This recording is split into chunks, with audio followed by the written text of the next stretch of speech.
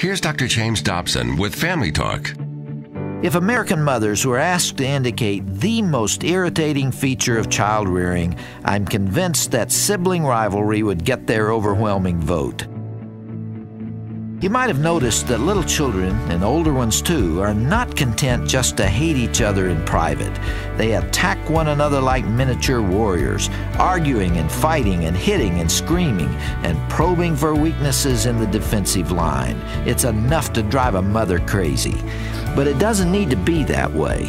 It is neither necessary nor healthy to allow children to destroy each other and make life miserable for the adults around them. Let me offer one suggestion that should result in a calmer tone in the relationship between children. I strongly recommend that parents be careful not to inflame the natural jealousies between children. Ever since time began, brothers and sisters have resented each other's successes in the eyes of their parents. That's why mothers and fathers should be very careful to avoid casual comments that favor one of their kids over the other, especially in the areas of physical attractiveness, intelligence, and athletic ability. Those are the three raw nerves on which self esteem hangs in Western society.